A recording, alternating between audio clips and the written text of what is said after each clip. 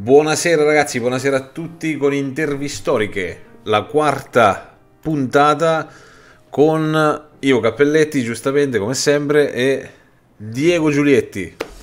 Benvenuto Diego. Ciao Ivo, buonasera a tutti quanti.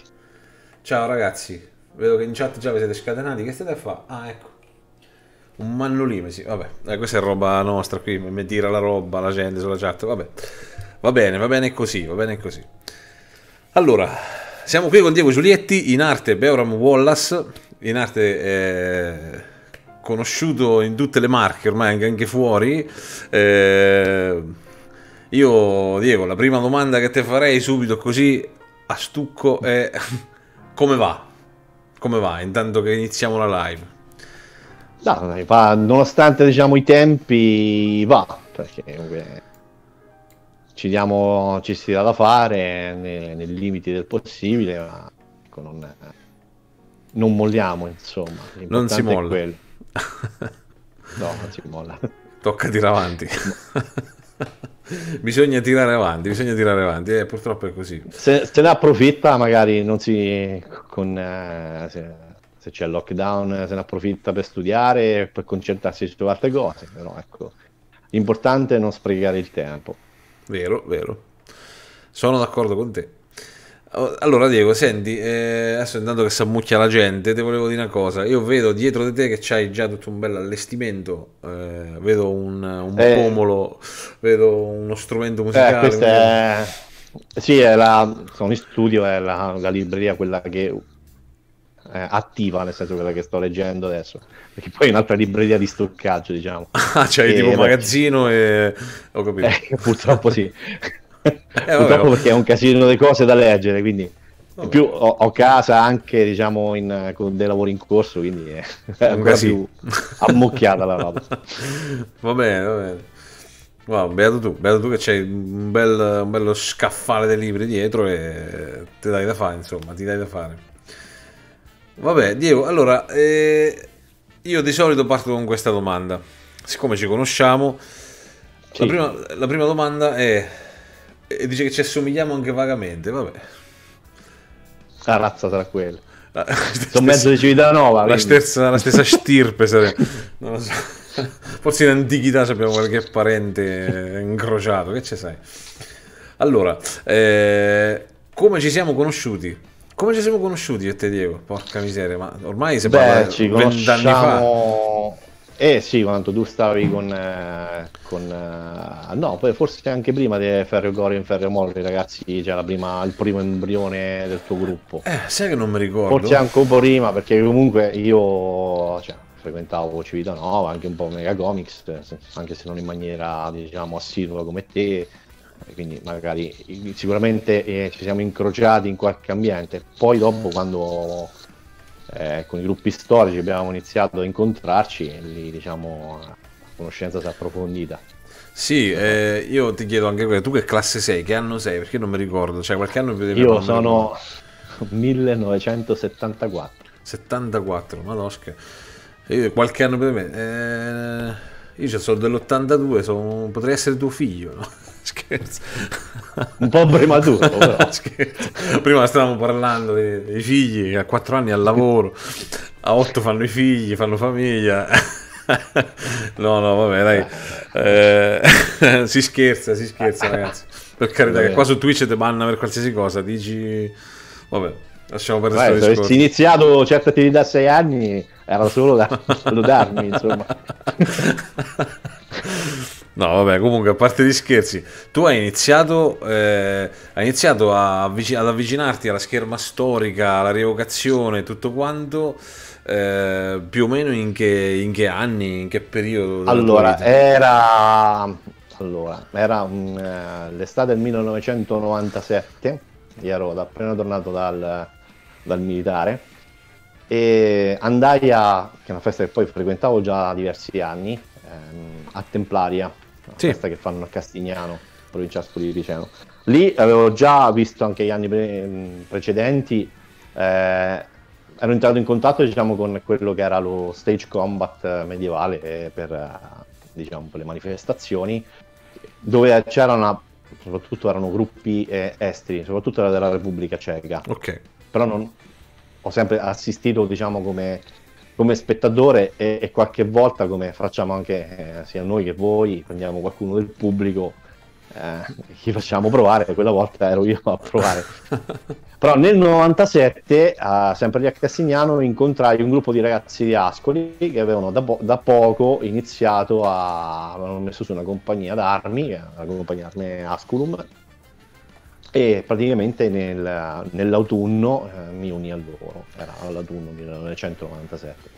Eh, un pezzo fa, oh, hai superato i vent'anni di, di carriera, diciamo, dai, di eh, beh, sì, nel mondo dell'evocazione storica, sì, naturalmente l'inizio all'epoca um, non c'era diciamo quella massa di informazioni che c'è oggi. Eh no, certo, certo. Quindi vero, vero. riguardando anche le foto, eh, le foto dell'epoca, parlando per me in particolare, era un po' più un rievocazione che, come si dice, sì, vabbè, un rievocatore. Penso che lo siamo stati tutti, in parte io lo sono ancora, perché quando mi metto a fare cose un po' diverse però il discorso vabbè, è che... Il contesto, che l'importante è il contesto. No, no, sì, vabbè, sì, la, la, la, voglia di, di, migliorare, perché tanto nessuno nasce, diciamo, come direbbe nonno, imparato. Nasce imparato, nessuno nasce imparato, ragazzi. Esatto. Segnatevelo questo, che è vero. non si finisce mai di imparare. Esatto. È vero, è vero. No, adesso a parte il fatto delle rievocazioni, eccetera, però comunque eh, è sempre... Sì, nel, fa... mondo, è sempre nel mondo della rievocazione sono entrato. Sembra affascinante. Anche se era un mondo che... Scusa, scusa, vai, vai. No, no, no, no, tranquillo. Comunque, sì, era un mondo embrionale, questo stavi dicendo, no? È un mondo esatto, molto, esatto. molto eh, agli inizi, proprio agli esordi. Soprattutto qua da noi, penso che nelle Marche non c'era, non c'era granché. Forse c'era a Urbino c'era il buon Gazza, ma io non ne sapevo nulla. Cioè, non c'era manco la possibilità di. Non è che c'era internet tu adesso su Facebook... Esatto, non c'era grande comunicazione, non c'era scambio di informazioni e di conseguenza di conoscenza, quindi eh sì, eh, sì. magari si formavano gruppi, poi mm, magari qualcuno si è formato e poi si è sciolto e neanche lo sappiamo. Es- esatto, quindi... esatto, esatto, c'è pure questo fatto qui. Quindi adesso possiamo averci praticamente una mappatura della, di chi fa rievocazione, che epoca fa. Vai su Facebook, ti metti lì, magari poi quando è sì, tanto sì. tempo che stai nell'ambiente ormai conosci un po' tutti, quindi eh, insomma è abbastanza facile sapere chi c'è sul territorio nostro, ecco, anche all'estero ormai. Eh, caspita, sì, prima, prima, veramente non ci si raccapezzava niente, non sapevi, incontravi uno, ti guardavi, chi sei tu? cosa fai? Oh, Vabbè, comunque Comunque no, complimenti, complimenti perché hai iniziato tanto tempo fa, quindi ti sei fatto, eh, ti sei visto tutte le ere della rievocazione, sei... le, chiamiamole le un, un, bel po' di gavetta. Ti sei fatto un bel po' di gavetta. Assolutamente. Va bene, va bene. E... Eh, praticamente poi l'esperienza con questa compagnia è durata fino, diciamo, ai primi, eh, intorno al 2000. Sì uh, per, per, vari motivi, impegni vari, comunque la vita cambia, eh, la gente può, certo. ha delle priorità diverse, la compagnia alla fine si è sciolta intorno al okay. 2000 e lì ho iniziato diciamo un percorso, il mio percorso personale di studio e tutto quanto e intorno al uh, fine del 2002 eh, praticamente ho dato vita a Forte Braccio Peregrense che è l'attuale compagnia. Forte Braccio Veregrenze. Forte Braccio Veregrenze che è situata a Montegranaro, per chi non lo sapesse, perché qui abbiamo gente, anche stranieri, gente della Toscana, eh. stranieri, capito? Gente che parla con la cannuccia corta. Che... Ciao gente, ci sei? Vabbè, io, questo io parlo con la chat ogni tanto perché qui si muove un po'. Adesso sta tutti zitti, sta a sentire. Ecco, sì, sì, c'è, c'è. Ciao gente, sei straniero tu.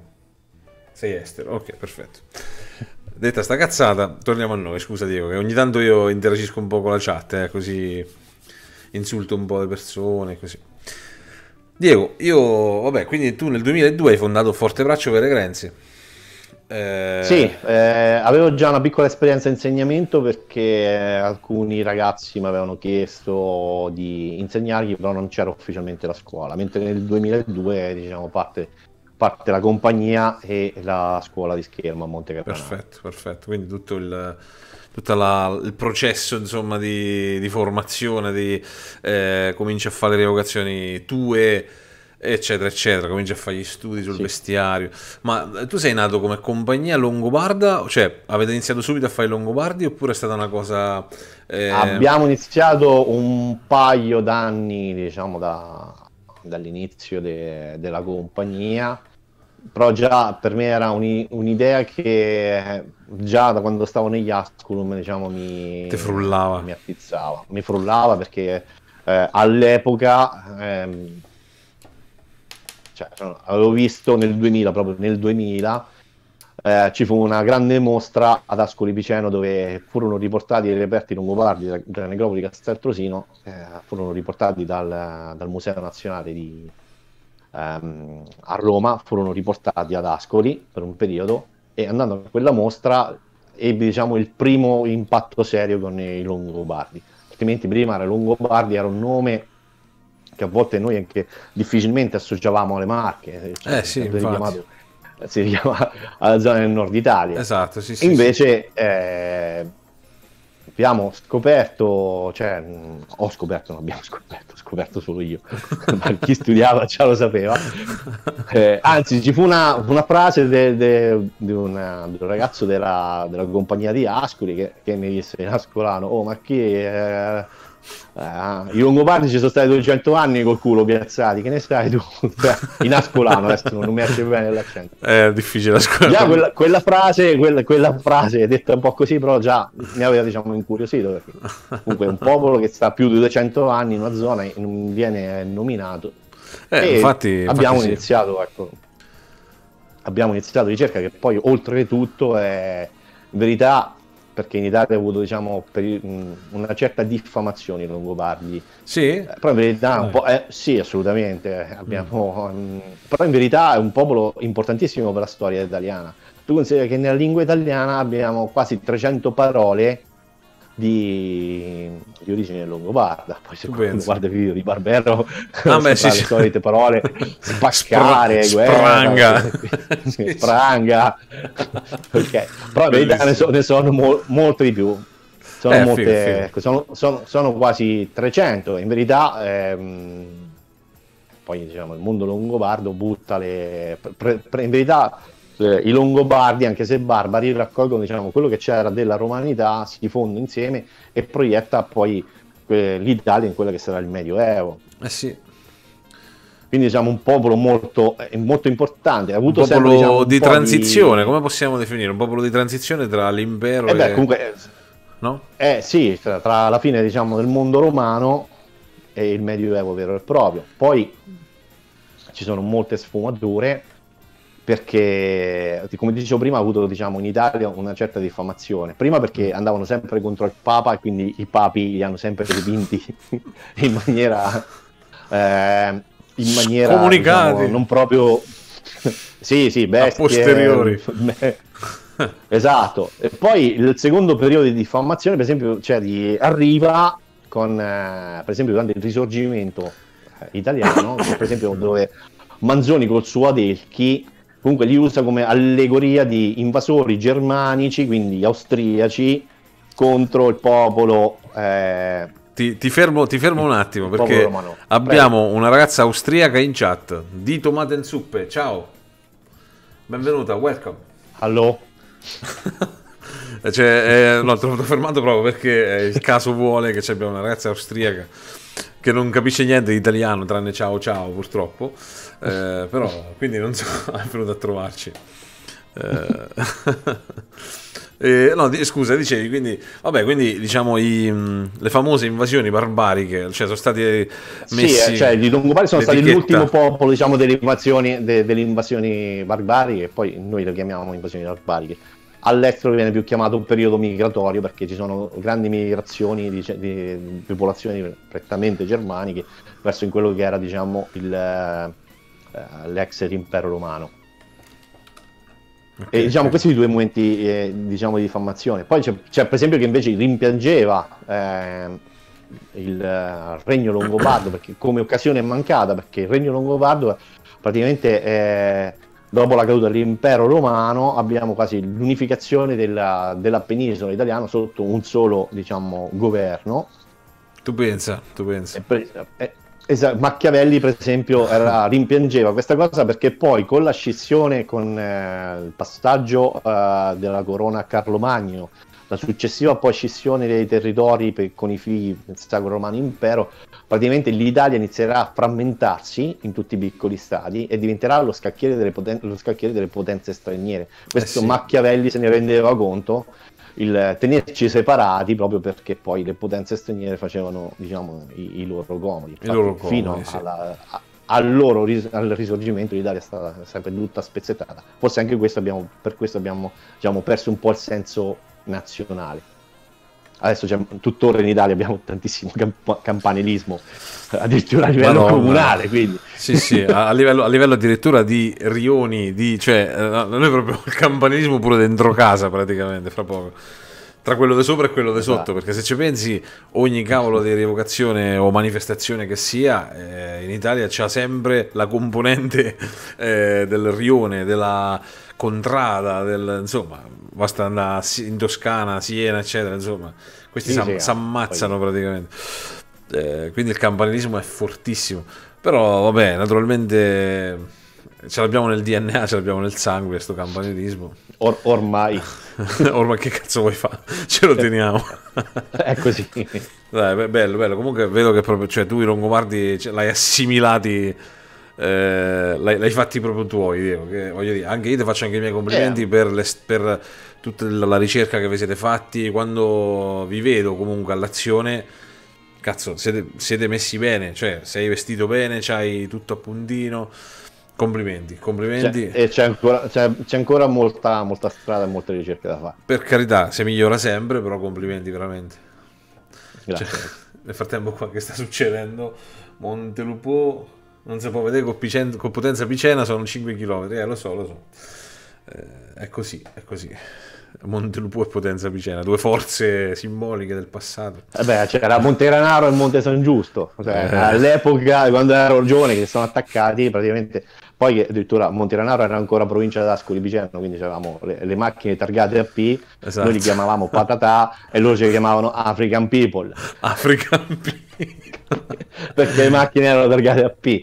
sì, sì, ma anche a Cita no, si dice che quelli di Porto San del Pidio è, è profondo sud, però cioè noi veramente io mi inciampo sul ponte e sto a Porto San del Pidio, non è che...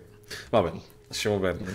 Però è assurdo che noi abbiamo anche dialetti diversi, se ci pensi eh, sarà, infless- sarà cose che magari non notano, però c'è inflessioni diverse no, proprio no. ogni due chilometri, c'è veramente una roba incredibile. Eh... Sì, abbiamo di, a livello linguistico abbiamo almeno 5 ceppi diciamo, linguistici, poi con le sfumature diciamo, interne. Marche è una sì, regione, sì. d'altronde le Marche sono una regione. Le Marche, le brands, come ha detto qualcuno, le brands, cioè è stato tradotto, no? Ma... Eh, quando usi, questo succede quando usi Google Translator. Esatto, esatto, le brands. Eh, oh, eh, Diego, ora una cosa che ti volevo chiedere, ehm... allora io ho visto, tu tu c'hai un altro, un altro, un'altra sciorinata dei complimenti, te la volevo fare sul fatto che Comunque tu vai in montagna, te, cioè chiappi certi paesaggi, porca miseria, ti faccio i miei complimenti perché eh, tu vedo proprio che vai a vivertela la montagna, cosa che io non sono mai riuscito a fare. Io sono un pesciarolo del merda, sto al mare. L'estate non è che ci vado tanto al mare, però la montagna mi piace molto, ma non mi sono mai avventurato così bene come fai tu. Poi non so se negli ultimi due mesi hai fatto tipo una sorta di passeggiata in, in, in abiti storici, insomma eh, raccontaci un po' questo aspetto, dai.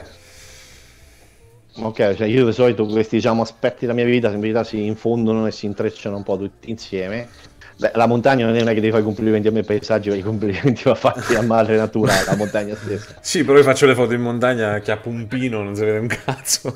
Invece tu magari c'è anche un po' di senso della fotografia, ecco, questo te volevo dire.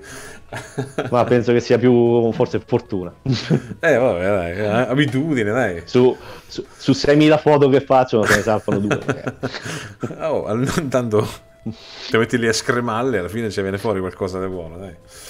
Sì, sì. No, no, beh, guarda, allora, beh, vivo la montagna, la natura mi è sempre piaciuta, fin da piccolo comunque ho fatto per esempio, eh, anche, avevo fatto anche gli scout perché era l'unico modo da piccolo per andare in montagna, quindi diciamo, eh, mi piace anche molto anche il mare, infatti eh, beh, io avevo anche la barca a vela, tutto quanto, Mm. Eh, ho un, un, una parte di sangue che è marinaresco senza fuori dubbio perché eh, la mia famiglia, un ram è proprio marinaresco, io addirittura sono stato in marina militare. Quindi c'è anche eh, questa quindi... passione, dai. Sì, sì, cioè, mi, piace, mi, piace, molto il mare, che non mi piace andare al mare quando c'è la gente, penso mi che spiaggia, la stessa cosa. Eh, non, io ce l'ho davanti proprio, eh, ci vado, ma non è che... Ci porto il bambino, da quando c'è il bambino, ci porto il bambino a pigliare un po' di sole, un po' di acqua di mare. Però non è che sto tanto bene io in mezzo alle canzoni dell'estate, ecco, come possiamo immaginare. Quelle... Baby K, sta roba qua, no, no, perché... Però Grazie c'è... a Dio io ho sviluppato tipo un filtro cerebrale che eh. alcune cose proprio non è... mi passano, quindi... A me invece mi entra proprio e... nel cervello, cioè mi entra dentro e io purtroppo le subisco perché c'ho proprio il chalet qua sotto a 20 centimetri proprio. Ah, sì, Quindi sì, mi pompa tutta l'estate sta cazzo di musica di merda. Questa è una parentesi, ragazzi, ah, importantissima. E eh, mi entra dentro. Quindi io le storpio, cerco di fare le mie queste canzoni per esorcizzarle, ma non... niente, so alla fine Diego, eh, a me mi ammazza. Eh, lo so, eh, stare di fronte di casa di fronte agli chalet d'estate è proprio il tripudio eh, sì, sì, qua sotto proprio. Del cattivo gusto, eh. esatto. è la sintesi della disgrazia. Le, leggiamo un attimo la chat perché un attimo siamo rimasti indietro. Allora, vai, vai. c'è, vabbè, c'è la cagnara tra Ruggero e, e, Leonardo che fa cagnara su. Tu sei di Montesanto, no? Tu sei Montelupo. Vabbè, lasciamoli perdere. Oh, c'è Perseidi che ci chiede da cosa deriva il nome Marche. Perché Marche? Io non lo so. Eh, Marche è una parola poi di origine germanica, Mark, mm-hmm. che significa terra di confine, oh, praticamente. Eh, quindi anche su Tolkien c'è le, terre del Mark, cioè proprio sì. le terre de, de, della Marca, perché le Marche sono terre di confine. Tu pensa, visto? Ti siamo risposto, visto? Poi c'è Leo Vargion che dice Diego, no es marinero, es capitan. Ciao Leo. Ciao. È uno dei tuoi, penso, Leo Vargion. Sì, sì, sì. Ok, ciao gente. Sì. Ciao gente che mi cita Estate, che è una delle mie emoticon, non so se conosci Lil Angels, quello che ha fatto quella canzone terrificante, una delle canzoni più brutte mai costruite dall'uomo. No, filtrata. È, è trash, no, ma è roba, tra- roba trash proprio. Poi volta te, faccio, te faccio sapere. Ok, questi continuano a faccagnare, intanto noi continuiamo a parlare tra di noi. Allora, vabbè, quindi siamo arrivati al punto di... Eh, stavamo dicendo, insomma, questi longobardi eh, e si intreccia diciamo la tua vita da rievocatore, da ricostruttore, eh, da reenactment diciamo, con la tua passione per la montagna e insomma, te fai dei bei esperimenti, ho visto, te fai una vita abbastanza medievale, cioè per carità, vedo che c'è equipaggiamento moderno, non sempre, a volte ho visto che fai anche esperimenti storici, però ti ritiri sì, un sì, po'... Beh, abbiamo fatto a, a, livello, no, beh, anche a livello di compagnia, adesso l'ultima volta quelle sulla neve, l'esperimentazione, diciamo, sull'equipaggiamento invernale, sulla neve, eh, ero da solo anche perché erano comunque sia un periodo di lock uh, in zona arancione avevamo, mm. quindi non ci si poteva incontrare. Io potevo muovermi perché avendo il cavallo eh, in quella zona io posso, an- potevo andare su, diciamo, perché comunque dovevo accudire l'animale. Mm-hmm. E ne ho approfittato diciamo, per fare questa sperimentazione con la neve. Però le marce in costume storico è un'attività che facciamo ogni volta quando c'è, quando c'è possibile, eh, anche con la compagnia. Bello, bello. Come, com- come, le marce a, come le marce a cavallo. Eh, sempre in costume storico. Oh, ecco. Per far capire bene i ragazzi. È una figata, questo è proprio vivere, vivere proprio la storia. Eh, ho visto anche il, tu, ma tu c'hai un cavallo praticamente nella tua proprietà, come funziona? Ho visto che te si faccia un allora, dentro io, la porta. Sì, allora quello è purtroppo è il mio vecchio cavallo. Ah, Cisco è morto nel è morto nel 2019 e Rip è morto di vecchiaia. Ma l'anima sua, ha fatto la vita sua, e... fatto la sua adesso ne ho un altro, però lo tengo diciamo in montagna direttamente, perché l'altro okay. sì, ce l'avevo qui a casa, è un rapporto eh, strettissimo, però eh, perché io non ho il trailer per trasportarlo, diciamo, le mie mm. esperienze eh, erano limitate nel circondario, quello che potevo fare okay. Eh, con lui era un po' diciamo limitato. Ehm, quest'altro cavallo ce l'ho in montagna dove riusciamo a fare queste attività. Adesso stiamo preparando proprio dei video su, sul Cavaliere Longobardo e abbiamo fatto una, una piccola preview tecnica un, un paio di mesi fa. Mi sa che ho visto qualcosa, sei tu che cavalcavi su sta valle che era? Sì, sì, cioè sul, sul, mio profilo, non è sul profilo della compagnia perché appunto c'è una preview tecnica dove alcuni, mancano alcuni, diciamo, alcuni dettagli, tipo la sella, purtroppo su quel video ancora la sella moderna, no. quella storica è in ricostruzione, quindi poi faremo il video diciamo vero proprio. Quello era una, diciamo, uno studio tecnico e abbiamo fatto un piccolo montaggio, è visibile sul, sul mio profilo Facebook.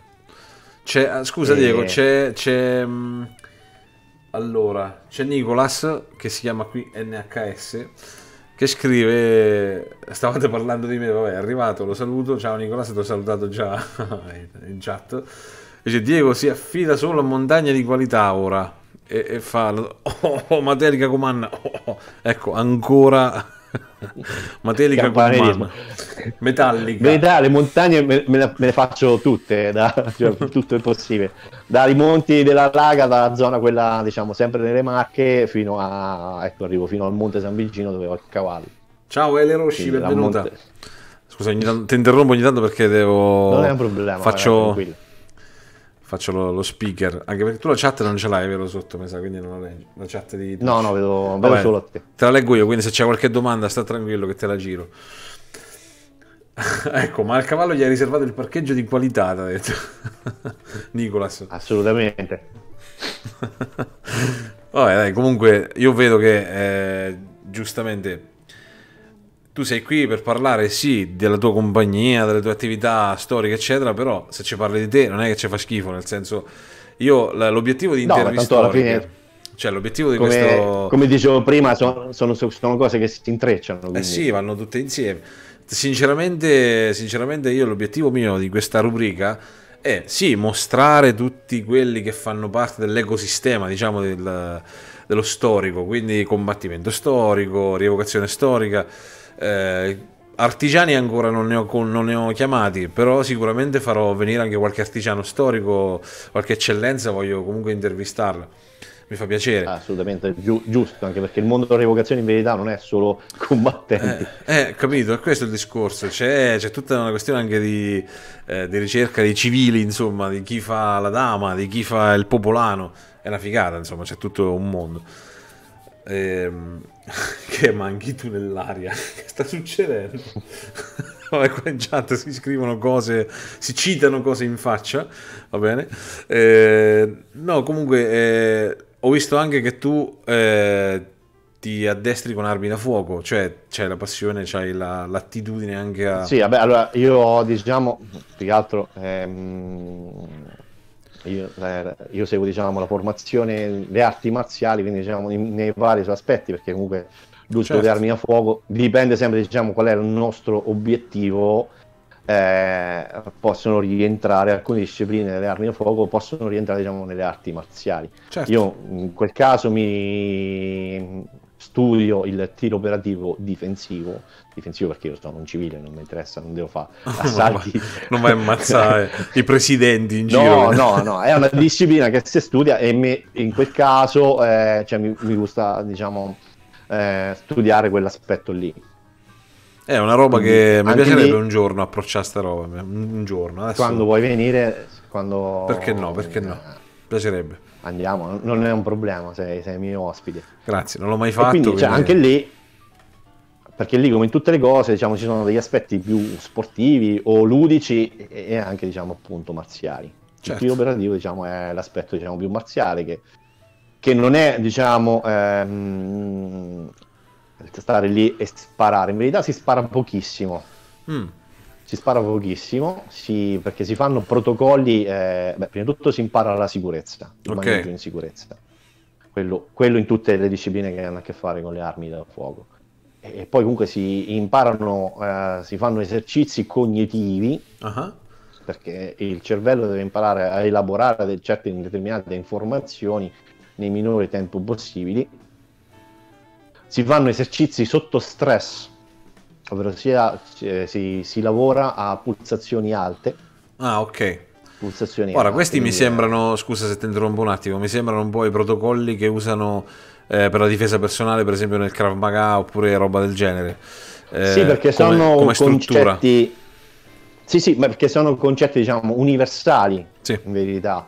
Quindi, eh, in verità, anche se uno appunto che fa difesa personale, comunque si studierebbe qualsiasi eh, arte, diciamo, che serve per la conservazione della vita, quindi dovrebbe simulare il più possibile la, la, una condizione reale eh, questo diciamo, sì, sì. È, è, la base, sono dei concetti. Esatto. Lo puoi applicare anche alla scherma se fai uno studio diciamo, più puro della scherma nel, con, con, il concetto antico con, di, diciamo, come forma di conservazione, di preservazione della vita. Eh sì, sì, sì. Qui, sì, sì, sì, capisco perfettamente. È proprio, secondo me, è fondamentale. È una cosa che adesso faccio un discorso trasversale e poi torniamo a quello che stavi dicendo. Non è un problema. Giusto per. Eh, io credo che sia molto importante la componente sportiva, chiamiamola così, anche quando si fa arti marziali. Lo, lo ripeto sempre, quasi in ogni live praticamente. componente sportiva nel senso il. Eh, prendere un po' di schiaffi o comunque reagire a stimoli anche interni, come dicevi tu, alzare il battito, eh, avere adrenalina e tutto il resto per vedere come la tua testa lavora, come tu lavori sotto stress. Questa cosa per me eh, è un po' una verifica no, di quello che effettivamente hai acquisito. Sì, beh, serve, serve per, eh, oltre che come verifica, serve proprio abituarsi. Anche, perché se certo. noi eh, non siamo mai abituati a lavorare con le pulsazioni alte, appena c'è un pericolo eh, siamo fottuti perché il nostro eh battito sì. schizza le stelle, noi andiamo praticamente in blackout, il nostro cervello si sì, blocca, sì, non riusciamo più a, a, a elaborare, perché in, a volte si parla di reazioni meccaniche, ma in verità c'è sempre un'elaborazione, a volte per mm. esempio si parla erroneamente di memoria muscolare, no, mm. è un errore anche quello, il muscolo non ha memoria, è infatti, il cervello sempre infatti. che controlla e agisce e abituato magari a certi meccanismi riesce a reagire diciamo eh, ecco, in maniera più istintiva. Però certo. deve esserci sempre diciamo un, un, raziocinio di fondo. Perché comunque l'istinto può essere ingannato. Eh, voglia. e lo stesso come, questo naturalmente tutte le arti marziali anche la schema diciamo, come tutte le cose eh, dobbiamo vedere diciamo scegliamo il percorso che vogliamo fare e poi sviluppare una forma mentis per quel percorso. Perché ah, nel caso della scherma possiamo, abbiamo diversi aspetti, abbiamo per esempio l'aspetto rievocativo storico, l'aspetto anche ludico, se pensiamo per esempio a, mm, a chi fa giochi ruolo dal vivo, sì, sì, ci sono certo. anche altre certo. diciamo, discipline più ludiche che involvono la scherma all'aspetto sportivo, che poi c'è sportivo amatoriale e sportivo agonistico. Esatto. Sì, sì, e sì. poi magari c'è la ricerca marziale più pura, dove lì entrano in gioco altri fattori Chiaro, chiaro. Eh, e poi in base a questo dal percorso che dobbiamo scegliere, che vogliamo fare, eh, dobbiamo iniziare diciamo, quel tragitto e sviluppare quella forma mentis, perché poi è pericoloso balzare da una cosa a un'altra senza la forma mentis. Sì, sì. Io a volte faccio... Pericolosissimo. Eh... Ti fai male proprio. esatto, perché per esempio se noi passiamo dalla mentalità ludica o sportiva, anche agonistica, per esempio a un, al lato eh, marzialista puro, si, si corrono grandi rischi. Sì, punte alla perché, gola, te cacci l'occhio, cioè, per capirci. Perché non, non abbiamo sviluppato quel senso. Eh. È, è, come eh, prendere qualcuno che gioca a soft air e poi lo metti a fare una cosa vera. Eh. Quindi magari eh, succede magari se spara sulla bocca. Ecco. Se prendi invece un tiratore magari che ha, ha, ha quella forma mentis, comp- anche con un simulacro sportivo o ludico mm. si comporterà diciamo, in quella maniera. Quindi diciamo a ritroso va bene, eh, dall'altro lato no. Eh, certo, va certo. tutto bene perché non c'è una cosa, c'è semplicemente quello che scegliamo noi, con la coscienza e poi appunto di svilupparla nella giusta maniera. Sì, sì, eh, perché, la penso perché lo stesso modo. per la scherma. Uno eh, che fa la ricerca marzialista più pura eh, all'epoca, naturalmente con, eh, in questo caso viviamo fortunatamente in una società in cui per ora ancora non, non abbiamo serve. bisogno di andare in giro con la spada affilata, però comunque fa un, un, discorso, magari si allena con la spada affilata, mm. si eh, gestisce l'arma in maniera diversa perché sì. quell'arma non è una solo una minaccia per l'altro, è anche una minaccia per me stesso.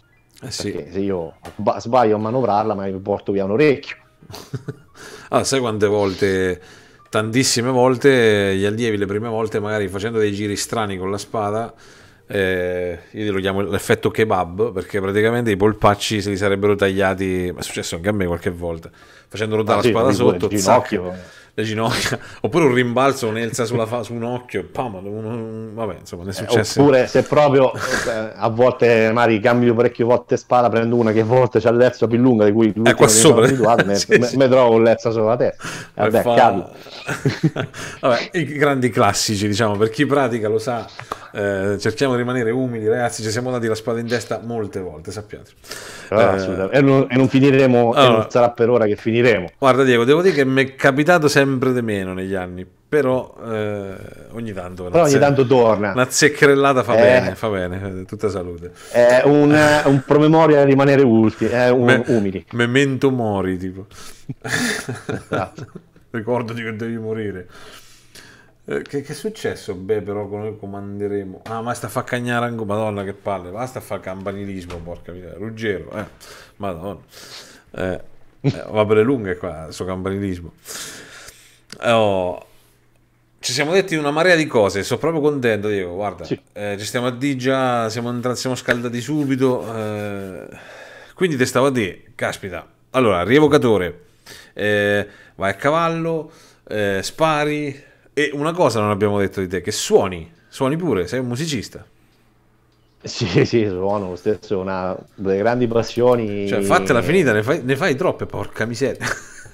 Scherzo. Si vive una volta sola, quindi C'hai ragione, c'hai ragione. Me- Infatti, meglio. infatti ragione. fare il pos- più possibile finché si può. Vabbè, la musica lo stesso è una componente e anche lì si intreccia con la revocazione storica perché eh, con Forte Braccio um, alcuni anni fa abbiamo dato vita a uno spin-off, diciamo, Sì. musicale che è il progetto Vinilod e che è il, proge- il primo progetto del genere in Italia perché si occupa di ricostruzione, sì, qualcuno avrà scritto. No, ha scritto, Diego ha scritto, c'è Leo che ha scritto all'occorrenza Diego fa pure il caffè. Ecco, come si dice? de- dei- Male, però ma, Ma male. si può avere tutto nella vita. E, mh, abbiamo dato, è il primo progetto in Italia diciamo, del genere che è ricostruzione di musica alto medievale. Eh, già di musica medievale in Italia ci sono veramente pochi gruppi, nel senso che noi siamo abituati alle feste a avere molti musici, ma Sì, sono più che altro un mix di Sì. folk e medievale. Esatto, sì, sì. sì. Eh, abbiamo iniziato questo progetto, siamo stati poi anche invitati a, mm, all'Università di Siena a esporlo perché è proprio diciamo, il primo del genere. Probabilmente ho eh, visto qualche, qualche video, l'ho visto forse. eh, Sì, sì, messo- c'è- Penso che avevate messo qualcosa. Sì, sì, c'è la pagina Vinileod eh, dove c'è per esempio un- l'ultimo concerto, purtroppo l'abbiamo fatto l'anno scorso, pre-pandemia, proprio a febbraio, Eh, a- al, ridotto de- al ridotto delle muse di Ancona. Però stiamo comunque, diciamo, ci stiamo preparando e stiamo lavorando perché eh, approfittiamo del lockdown per dedicarci un po' di più allo studio delle varie cose, tra cui Certo. la, la musica. Sembra giusto. mi sembra Quindi, giusto. diciamo, poi suono heavy metal, che, ok, da, da- da una vita proprio, passiamo da un estremo all'altro. Sì, infatti c'era Rodrigo del, del Buffalo, ex eh, Blues Blues che l'altra volta aveva postato Blues delle foto dove ci stavi tu a suonare. Eh, Sì, era uno dei nostri ultimi concerti lì a, a- al Blues Bikers ora a Buffalo Grill. E, sì, sì, eh. Ma torneremo, torneremo anche lì. Bene, bene, bene. Torneremo a Bene. fare casino anche lì. Molto bene, ci sarò, ci sarò con una bella birra. Speriamo, ragazzi, speriamo che passa sta cazzo di pandemia perché veramente mi sono rotto le palle, non, non se ne vuole più. Non se ne vuole più. Io mh, eh, vi invito a riflettere su una cosa, ragazzi. Noi che siamo appassionati di combattimento storico, nel mio caso io sono appassionato di arti marziali e di combattimento in generale. eh, il fatto che io abbia approcciato alla scherma storica è stato quasi un caso a un certo punto della vita mia. Io venivo dal judo, no? eh, da altre arti marziali di contatto pieno e mi sono trovato sta scherma storica mi sono appassionato perché comunque la passione fin da piccoli io penso che è una cosa che uno boh, sarà un seme che ci abbiamo dentro che ci siamo nati non lo so Beh, ci accomuna, ci accomuna tutti. Chi da piccolo non, è non- comunque non, non- non rimaneva affascinato dalla figura del cavaliere o comunque dai, dai tempi dai tempi remoti. Vabbè, dopo, c'è, dopo c'è, gente come Roberto Bolle che sceglie di andare a fare danza, per esempio. Quindi in realtà non è che c'è. no, non lo so. C'è... Però attenzio- attenzione perché in, nel Medioevo il gentiluomo deve saper fare tutto. E spesso e volentieri, anche per esempio in Anonimo Bolognese, i passi schermistici sono eh, paragonati al passo della danza. Della danza, sì, sì, sì, sì. Perché comunque è un'attività propedeutica migliora parecchio il passeggio e sia la coordin- il coordinamento fisico. Quindi... È un po' come fare la corda per il pugile, un po' queste cose, sì, perché ti dà, ti dà agilità sulle gambe, certo, ti dà coordinazione, figo. Eh, comunque, eh, no, il discorso era, eh, siamo fissati col Medioevo, però abbiamo anche altre passioni, cioè non è che, no, perché uno pensa, no, questi è fissati col Medioevo, guarda, c'ha le spade, c'ha l'elmi, c'ha le cose ma raga, io ho anche un micro, cioè non è che la tecnologia ci fa cacare, non è che la ripudiamo. Ah, so... cioè, guarda, io addirittura non so se si vede qui, ma c'è di sopra ho il visore VR. Quindi... Ecco, visto, voglio dire. non è che siamo scemi, quindi perché ci piace il Medioevo ci piace pure invece la peste bubonica, no? Non è così. Eh, il, nel Medioevo probabilmente saremmo già morti addirittura. Quindi. Tra l'altro, saremmo vecchi già da un pezzo.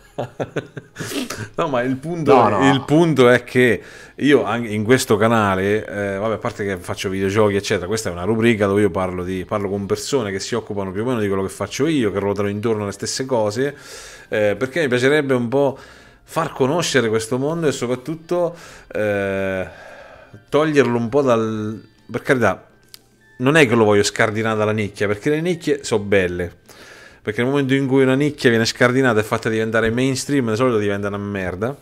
Eh, non, so se, non, so se, mi sono spiegato, insomma. Sì, sì. Però mi piacerebbe comunque divulgare e diffondere il bello che c'è in questo tipo di vita che noi cerchiamo di, di proporre, di fare, soprattutto a livello associativo, a livello di compagnia, di stare insieme, di viversi, di viversi un po'. Ehm, viversi un po' la vita in questo modo però questo non vuol dire che siamo eh, retrogradi, anzi a volte pre- cerchiamo di prendere dal passato per magari portare al presente e magari proiettati al futuro con maggior consapevolezza. Questo è il mio punto di vista, non so se penso Ma che lo condividi. No, uh, sì, sì, assolutamente condiviso, perché comunque il passato eh, è una grande scuola, ha molto da insegnarci. Chi lo ignora eh, sbaglia, sbaglia. Noi non viviamo nel passato, abbiamo una connessione col passato. Una connessione. E ne, ne raccogliamo anche uh, uh, un certo retaggio e cerchiamo di eh, e lo proiettiamo e lo integriamo nel mondo moderno perché assolutamente noi siamo, siamo sempre comunque figli del nostro tempo. Eh sì. Per quando ci possiamo avvicinare non saremo mai eh, un uomo dalla mentalità medievale. Siamo sempre nostri figli no, del nostro tempo. Però abbiamo la connessione con il passato, con la storia. Quindi è importantissimo. Poi ecco, non è in verità, eh, ecco, tu hai detto una cosa di nicchia, in verità mh, mm, eh, la rivocazione storica ha una grande funzione. Nel senso, fino a poco tempo fa non, diciamo, era vista più come, come un elemento folcloristico, perché purtroppo le feste medievali in Italia sono più folcloristiche. Sì, sì sono manifestazioni, sono manifestazioni che cercano un po' di... Eh, sì. Lavorano sul medioevo percepito, noi lo chiamiamo, in compagnia. Ah, quello è il medioevo percepito, sì, un po' come l'americani che non c'ha castello e niente, ti tira su un castello di legno, dice questo è il medioevo. Per carità, bravi gli americani perché comunque ti tira su un progetto da niente magari, però ragazzi ma... non è propriamente il medioevo, cioè eh, questo è il discorso. Eh, scusa, ti ho interrotto, Beh, era per, per fare una No, non ti preoccupare. No, no, ma il concetto è giusto, nel senso che abbiamo le feste che appunto sono un, un, miscuglio di folklore, tradizione e storia, però quindi non, non, diciamo, non è la rivocazione storica. Esatto. Il rivocatore attuale si è evoluto da, diciamo, da quello dell'epoca e, e, comunque adesso è una funzione importantissima che la, è, la, è il punto di collegamento, per esempio, tra il mondo accademico e il mondo diciamo popolare, sì. fatto nella stessa maniera. Sì. Perché il mondo accademico può essere, eh, per chi non sta, diciamo, chi non è interessato eh, allo studio diretto, quindi diciamo, non, non, si interessa dell'argomento, il mondo accademico è comunque eh, distante, potrebbe essere anche pesante e noioso. La funzione del rivocatore storico sta proprio in mezzo, fa da collegamento a, tra questi due mondi, perché prende quello che è accademico e lo rende reale, tangibile. Sì e sì, quando sì. è fatto in, in maniera eh, diciamo più corretta possibile è anche diciamo una importante fonte di divulgazione certo ha una funzione culturale che... certo sì sì eh, a me onestamente nel tempo ho notato come la funzione culturale, da intendersi come quella che dici tu, no? fare da ponte tra l'archeologo e, e, e il pubblico fondamentalmente, è importantissimo e mi piace anche però, eh, cioè, secondo me c'è un ulteriore ponte, nel senso eh, fare, far sì che lo spettacolo, eh, pur non piegandosi troppo, nel senso non deve essere una merda, non deve essere una cosa antistorica, però a volte per andare un po' incontro al pubblico cerchi di fare qualcosa di più digeribile, ecco, per capirci. Eh, sì, poi naturalmente dipende... Sì, sì, dipende dal contesto sempre. Certo. Okay? certo. Cioè, va analizzato il contesto. Eh, allora, adesso ti faccio un contesto diciamo un po' più preciso. Per esempio, noi collaboriamo molto con l'archeodromo di Poggi Bonzi. Eh, l'archeodromo di Poggi Bonzi è la ricostruzione di un villaggio alto medievale sì. diciamo, di, in Italia sotto l'epoca, sotto il dominio carolingio, eh, curato dall'università, in collaborazione con l'Università di Siena e dal professor Marco Valenti, che è un amico e salutiamo. Eh, lì facciamo proprio diciamo, eh, l'incontro tra il mondo accademico più puro e il pubblico, rimana- rimanendo eh, diciamo, in uno schema eh, poco spettacolarizzato. Però molto realistico, con gente che lavora, cioè non ci sono tutti guerrieri, sono tutte gente, gente che lavora ai campi. Cioè abbiamo professori all'università che lì fanno il contadino medievale. chi fa il pane, chi fa le cose, sono scene di vita quotidiana non particolarmente spettacolarizzate, però nella loro semplicità eh, sono estremamente comunicative e dirette. Beh, in quel caso Poi sì. abbiamo le feste, Esatto, abbiamo le feste eh, un po' più grandi, tipo per esempio Monte Lago Celtic Festival, esatto. dove lo stesso noi collaboriamo, corriamo il campo storico. Lì una situazione totalmente diversa perché abbiamo una, una, situazione di festa che neanche è storica. Noi abbiamo integrato negli anni il campo storico come, diciamo, come finestra storica, poi naturalmente però c'è la battaglia che è spettacolarizzata. Certo, no, infatti, Però, infatti è, cioè, il punto è che io non denigrerei nessuna delle due realtà. È ovvio che... No, no, no.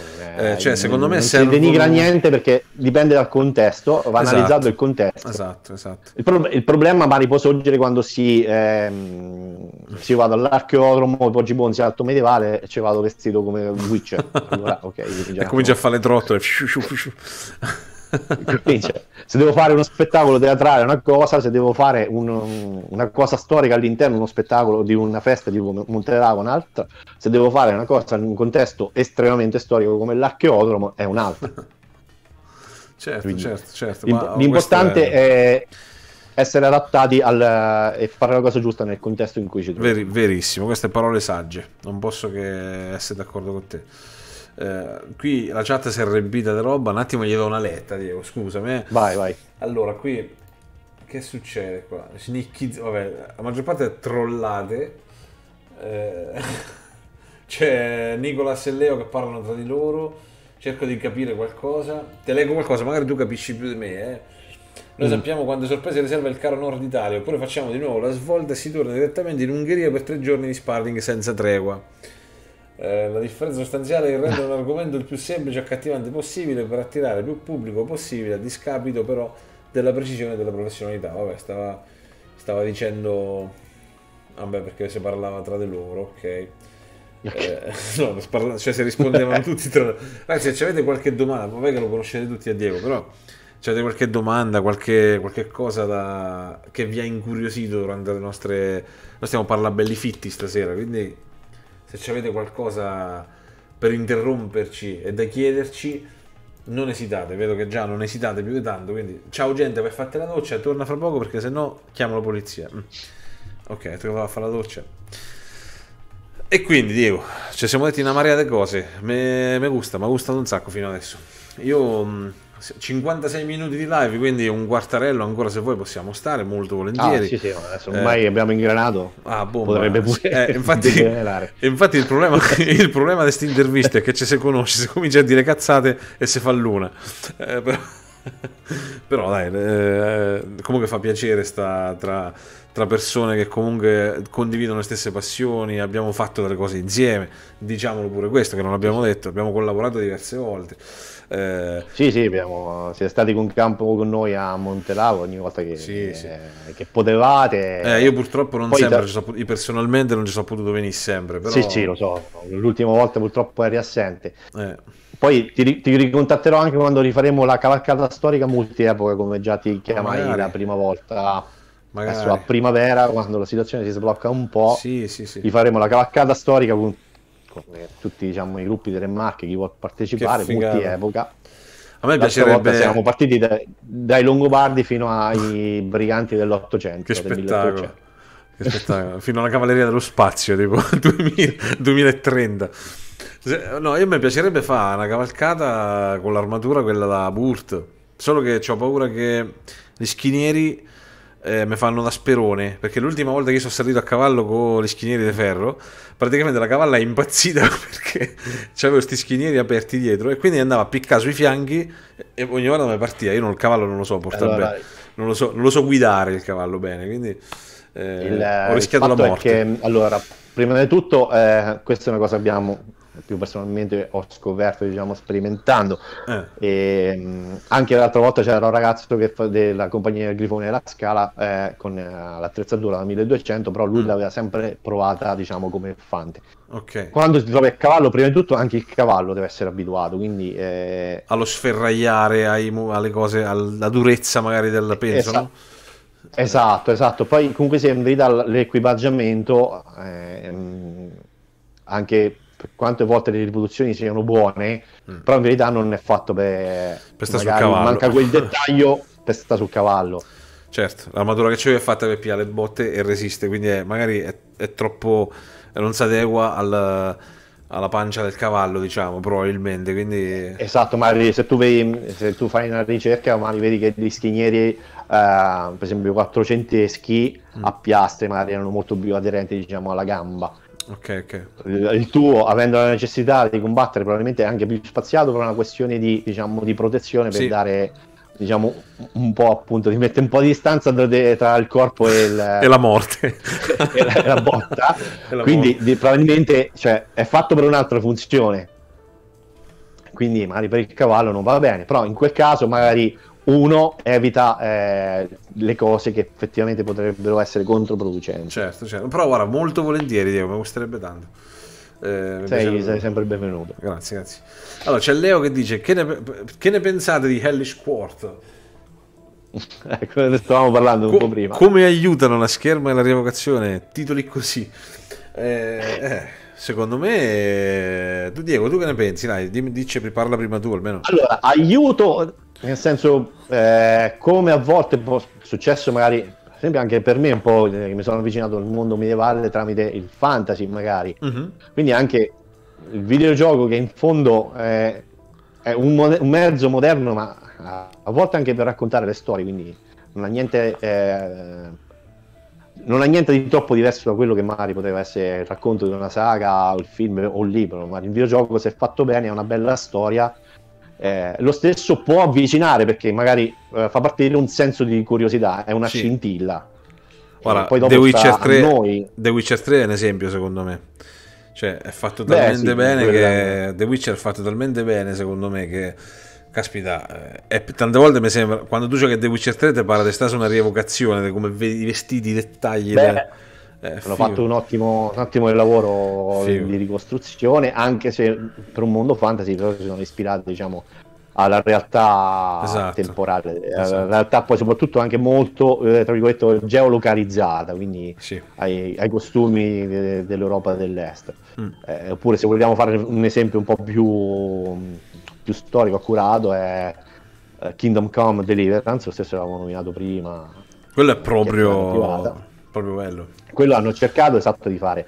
Queste cose possono aiutare perché appunto possono innescare una scintilla eh, sì. di curiosità nelle persone che poi dopo, eh, come la scintilla, come ogni fuoco, va alimentato o lasciato spegnere, poi quello dipende dalle persone. Però già avere una scintilla può essere una cosa molto importante.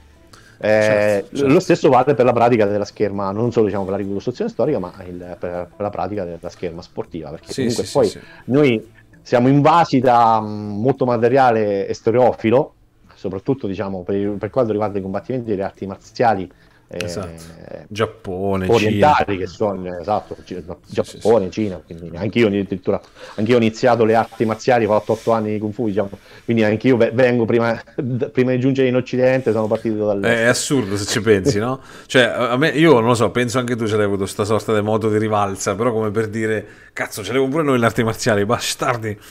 E quindi eh, voler un po' dire, tirare fuori l'orgoglio europeo, se vogliamo, no? Eh... Beh, sì, beh, comunque è una... da un lato diventa anche appunto la responsabilità per il recupero di un retaggio della trasmissione. Eh sì. eh, nulla, to- nulla, togliendo naturalmente sempre alle arti marziali. Ma certo, certo, no, infatti non è per togliere qualcosa agli altri, però è per dire... Eh... Sì, ce l'abbiamo cioè... anche noi cioè, perché, perché lasciarla anzi. seppellita nelle, tra le polveri del tempo? Voglio dire, spolveriamo questi manuali. No, a, a, anzi, eh, esatto, anzi, anzi, ridiamogli la giusta dignità proprio perché, eh sì. noi abbiamo sempre abituati che eh, artisti marziali da, che hanno preparazioni fisiche esatto. altissime, abbiamo movimenti fluidi, eh, e poi tipo nei, no, nei, nostri film, perché purtroppo film e televisione sono un grande mezzo di comunicazione, ma eh sì. spesso e volentieri hanno prima, proprio all'inizio, diciamo nei tempi passati, proprio per una mancanza diciamo di, di conoscenza, quindi ok, lo accettiamo. I cavalieri eh, con i ferri da abbiamo... stiro a posto delle scarpe, fantozzi. Beh, guardavo vecchi film di Robin Hood degli anni 30 dove i maestri d'armi erano... Eh, tutti schermitori diciamo di, di scherma sportivo comunque scherma terreno scherma moderna insomma eh. e, e, venivi gente magari con l'ascia di penna e poi usata come un fioretto no, okay. eh, esatto ok quello è, è, accettabile nel senso però lo stesso ha creato eh, nel tempo questo diciamo quest'uso dei, dei mass media nel tempo che la scherma occidentale mm fosse eh, abbiamo avuto due cose eh, una scissione sì, la scherma sì, sportiva sì. come se fosse una cosa eh, ormai a parte oppure addirittura a volte diciamo una cosa un po' più eh, meno maschia tra virgolette invece è, una, è, un aspetto schermistico sono grandissimi atleti e richiede certo. una preparazione e una tecnica altissima abbiamo di altissimo livello eh, con dei principi antichi eh, che vanno assolutamente preservati. E la scherma, quella precedente a questa sportiva, che era semplicemente un mucchio di gente che eh, con le sbranghe di ferro si, si dava addosso. sì, sì, senza tecnica, se gliene frega un cazzo, cattiveria pura. Esatto. No, vabbè, poi c'è, c'è, c'è su, sulla, sugli aspetti tecnici eh, dell'evoluzione della scherma c'è tantissimo da dire e eh, io quello che so cerco di, di parlarne nelle live mie. Eh, per esempio, ti faccio una domanda: tu che ne pensi del. Mm, eh, cioè, tu adesso hai appena detto, no? Dalla scherma, sì. chiamiamola moderna, in poi, eh, insomma, le armi più leggere, se vogliamo. Eh, sì. Ok, tutto tecnico, prima invece è una merda, prima, prima sprangate, mazzate. Uh, oh, sono... questa, questa, è l'idea che si ha, ma non è così assolutamente. Eh, no, no, nel senso, questa è l'idea che magari c'è. La spada pesava 14 kg, è una madonna, che cazzo è? Una persona. Cioè, Articoli di giornali, spadoni da 20 kg. Cioè, da 27 kg. Mo- mo- muori d'ernia appena la alzi, ti eh. scoppiano quattro ernie sulla colonna vertebrale a livello inguinale, ovunque e muori. No, non è possibile. Ma è bello che non si rendono conto. Tu poi averci un sacco di cemento sulle mani. Io tirate su un sacco di cemento e ditemi se può essere che una spada pesa come un sacco di cemento. Non può essere. Boh, detto, no, questo, detto questo, eh, no, il discorso è ci sono delle, mh, mm, eh, dei movimenti che accomunano eh, la scherma, chiamiamola olimpica, ormai olimpica, alla scherma magari mh, mm, con la spada lunga, però ovviamente sono abbastanza diverse come ehm, come, facciamo un esempio ancora più distante. Alla fine la spada lunga, le punte si tira, eccetera. Immaginando di combattere con un falcione, è tanto diverso da, dalla scherma sì. del fioretto, no? Vabbè, lì, eh, sì, assolutamente. Abbiamo due armi sviluppate per, con due concetti diversi. Esatto. Il problema dell'evoluzione della scherma, per esempio, è vabbè, la, la, scherma praticamente fa parte della storia dell'uomo. Certo. Cioè le arti marziali fanno parte della storia dell'uomo. Il papiro, la testimonianza più antica che abbiamo delle arti marziali è un papiro egiziano dove ci sono descritte alcune tecniche di calcio e di pugni. Anche in India so che c'è il Kalari Bayit, non so se lo conosci. Praticamente sì, è, sì, è, dovrebbe essere ancora più antico, forse, non lo so, perché mi pare che, ovviamente tradizione orale, credo, eh, perché praticamente si rifà lo yoga, è uno yoga da combattimento, se vogliamo, non è, non è così, però nel senso coloro che prendevano sì, la via sì. del guerriero no?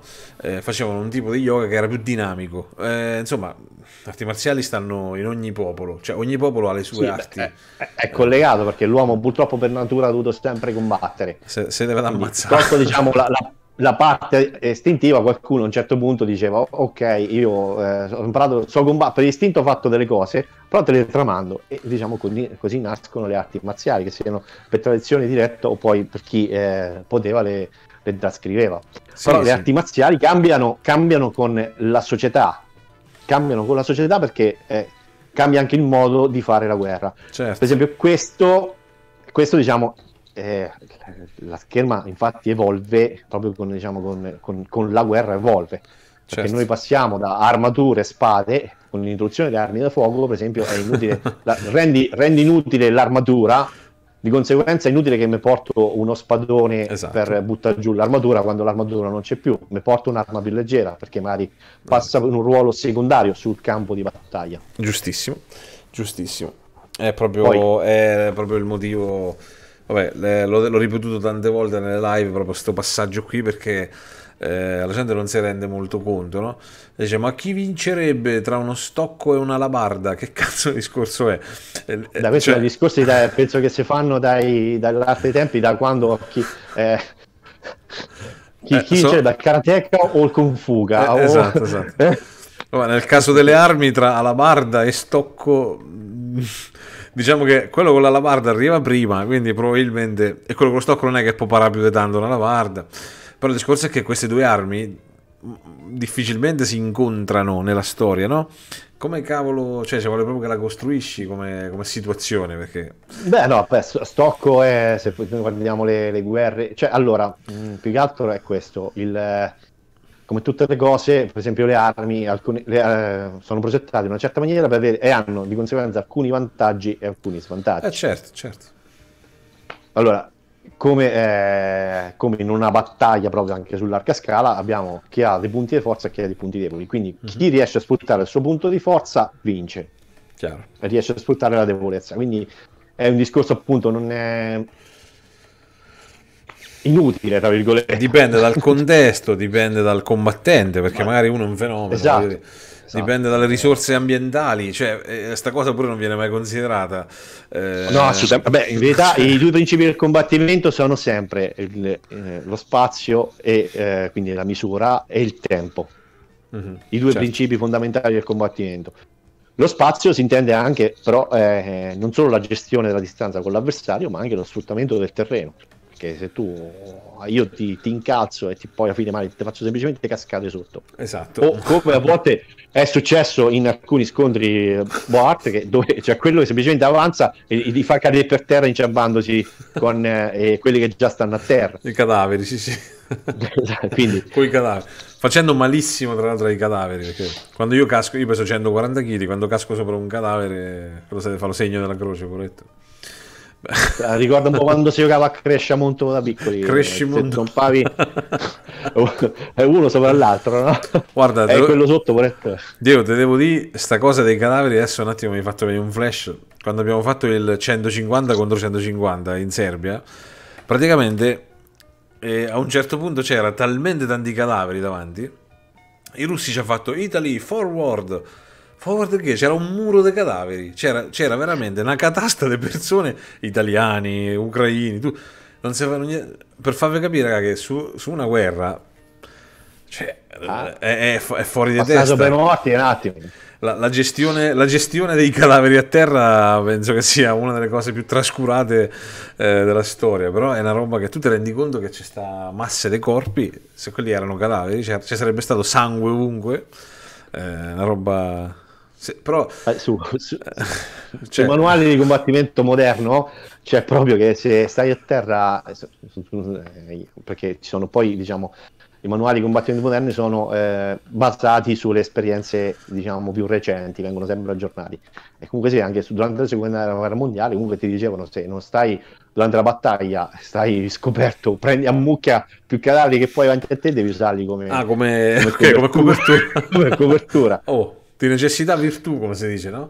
Comunque dalla chat ci dicono che vince la katana, vince sempre la katana. Ok, ragazzi. Vince la katana? La, katana, la katana vince su tutto. La katana è l'arma perfetta. Immagino che è stato tipo Nicolas a dire. Eh, no. Allora, praticamente è successo questo. Leo ha detto vince la katana e Nicolas sotto no, maledetto, ma hai rubato il commento. Quindi Ah. io Ah, ok, è stato... ok. gli, gli lasciamo un pari merito a sti ragazzi. Cadaveri, miglior sgambetto bellico dall'alba dei tempi. È vero, è vero. C'ho la rievocazione è tremendamente fedele, è vero, è vero. È vero. Guarda, è successo pure a me durante la battaglia di San Ginesio. In un certo momento dello scontro, eh, io, mh, battaglia di San Ginesio, abitazione del tardo 400, eh, io portavo quindi l'armatura e tutto quanto. dopo Che è la fornarina, la battaglia, la battaglia della Sì, fornarina, esatto. dico, ok. Che non è quella che fa le scarpe a Citano. No, No, non è, non è. E mh, indietreggiando inciampai su, su un cadavere praticamente e poi sono rimasto lì perché con la stanchezza dell'armatura nel, nel frattempo cioè, ero già abbastanza diciamo esausto sono rimasto lì che cazzo vuoi fare? mi sono so finto morto quelli passati non mi ha visto Pazienza, è andata così. eh, capi. Capita, effetto tartaruga rovesciata. E poi anche perché dopo c'è la stanchezza, hai piato la botta e dici ma chi cazzo me, fa, chi me lo fa fare dal zambe? Ma fa, ti rigiri. È così, è così. Bello, E bello. poi la comunque, gente non considera esperienza. elmo chiuso è di possia perché comunque c'hai scarso uso d'ossigeno eh, Sì. il peso dell'armatura che in quel frangente diventa tipo decuplicato Esatto. Io ho notato una cosa facendo Wurt. Praticamente eh, tu sudi, bevi, ok? Perché naturalmente ragazzi si combatte d'estate, quindi c'è l'armatura eh, che ti fa proprio da cappa, cioè non fa uscire i vapori. Quindi c'è sto Gambeson che si intride del tuo Pesa sempre- sudore. pesi, pesi sempre di più Esatto, tu ogni due litri che bevi non è che li, li butti via, ti rimane sul Gambeson, quindi diventi praticamente sempre più pesante, più bagnato, più...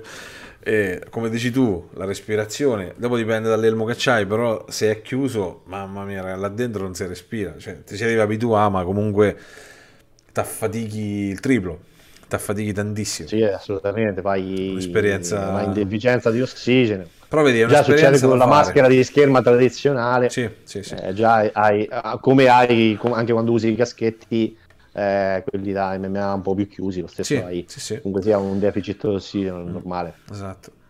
Sì. Dopo ci fai un po' l'abitudine. Poi comunque ci stanno elmi più aperti. Eh, vabbè, dopo ci stavano diverse possibilità per cercare un po' di aggirare questo problema.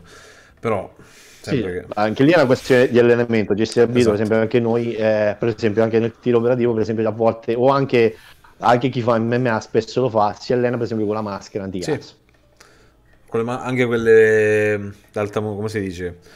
Le maschere, quelle che simulano il- l'altitudine. Eh, c'è Ah ste- sì, c'è ste però, vabbè, maschere- però di solito si usa diciamo la, proprio per la privazione di ossigeno. Mm. Mentre lì la questione della- dell'aria rarefatta è diciamo un concetto un po' diverso, perché noi Mm. comunque abbiamo tanta aria, però poco ossigeno e molta anidride carbonica. Ok. Ok, ok. Quindi, però abituiamo il cervello a- a- a- ad azionarsi anche diciamo con questa poca il fisico a reagire con questo diciamo Sotto con questo poco ulteriore stress, un ulteriore stress alla fine da Esatto. gestire, no? Sì, sì, è, sem- è sempre quello diciamo il Che discorso poi- lavorare sotto lo stress. Sì, tanto lo fa il panico, perché dopo lo stress si autoalimenta, nel senso tu eh, quando sei sotto stress rischi di andare addirittura in panico, no? Eh, respiri più in maniera ancora più affannata, eh, se invece riesci Sì, a mantenere freddezza, tutta una serie di, eh, di meccanismi Mm. fisiologici che vanno poi a peggiorare se, se ne perdiamo il controllo. Eh sì, È una catena, basta perdere il controllo su un anello di questa catena e poi diciamo a cascata. Eh, esatto, a cascata abbiamo degli effetti molto poco gradevoli. ecco. Eh sì, sì, sì, ma eh, però vedi, fare esperienza di queste cose in un contesto sicuro, naturalmente. Non vi dico, non dice, ah, ma quindi mi devo mettere un sacchetto di plastica sulla testa? No, fa- amici che ci seguite da casa, non fatelo. No, il discorso è che fare esperienze in un contesto protetto, però fare delle esperienze anche un po' forti se vogliamo, come prendere un cazzotto sulla faccia o come mettersi una maschera, eccetera, eh, ci aiutano ragazzi a, a, comprenderci meglio. Questo è un messaggio tipo, come si chiama, le, i messaggi quelli della RAI, eh, pubblicità progresso cioè, eh, su- superate un pochettino la zona di comfort perché dall'altra parte c'è il premio Ma... di controllarsi un po', di sapersi gestire meglio in generale. Secondo me, eh, questa sì. è la mia visione. Poi in, in verità, sì, sì, no, è, è una verità sacrosanta. Poi perché comunque, mh, mm, allora, poi dipende sempre dall'obiettivo che uno eh, dalla necessità e dall'obiettivo che deve raggiungere. Chiaramente. Però uscire dalla propria zona di comfort è sempre eh, auspicabile, mm-hmm. in una maniera controllata, anche perché poi questo fa sì che la nostra zona di confortabilità si allarghi. Mm-hmm, esatto, sì, sì. Quindi, e poi di, di, progredire sempre oltre, diciamo. Si allarga un confine. Quindi è assolutamente importante. Mm. Eh, figo, figo.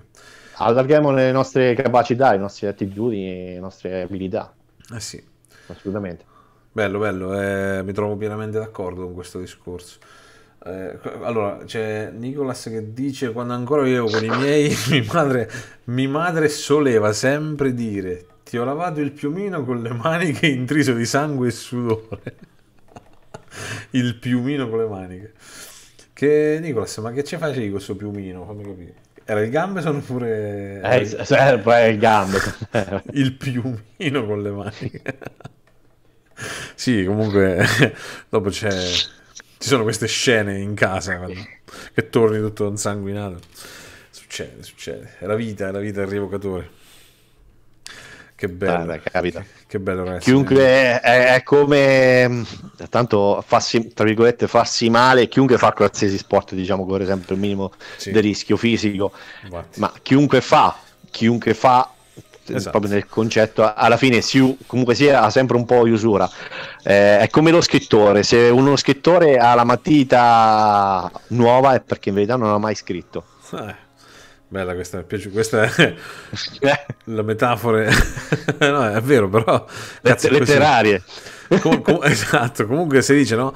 Chi fa sbaglia, eh, chi fa sbaglia, chi non fa non sbaglia ma non fa, non va avanti, non progredisce. Bello, bello, siamo proprio in linea sotto questo punto di vista, ragazzi, siamo allineatissimi, mi piace. Oh, io ragazzi, qui è passata un'ora e venti, che dici Diego? Andiamo verso il... Sì, verso, sì, sì. verso, verso la chiusura. Verso, verso, la chiusura, ne volevo approfittare perché certo. un attimo... Eh, noi diciamo come a, a livello di rievocazione storica abbiamo, facciamo molte collaborazioni sia diciamo con eh, eh, a parte diciamo con l'archeodromo di Poggi Ponzi come abbiamo detto però anche a livello di riviste e tutto quanto e, e collaboriamo anche a volte diciamo per, ehm, per libri e altre cose sì. eh, collaboriamo spesso e volentieri con Elena Percivaldi una scrittrice eh, che ha fatto proprio gli ultimi due libri proprio sui Longobardi, tra cui eh, l'ultimo è in uscita in questi giorni, anzi se, se mi permetti lo faccio pure vedere. Certo, vai, vai, certo, certo, come no, fai... Cioè qui proprio... Eh, sono, per chi si vuole, diciamo, ecco, perché uh, per chi si vuole, diciamo, avvicinare lungo, eh, ai, mh, all'argomento dei Longobardi, c'è cioè il primo libro che ha fatto, I, I Longobardi, un popolo alle radici della nostra storia, okay. Elena Percivaldi, e poi c'è il primo volume di una serie nuova che sta facendo, un po' più, eh, ancora più specialistica, che è questo uscirà in, in, edicola nelle librerie il 25 marzo, uh-huh. che è sulle tracce dei Longobardi. In questo caso tratta dell'Italia settentrionale, ma poi ci saranno altri volumi che trattano poi diciamo della Longobardia minor, che sarebbe l'Italia centrale e l'Italia del sud. Sul, allora lo scrivo in chat eh, sulle tracce dei vai, vai.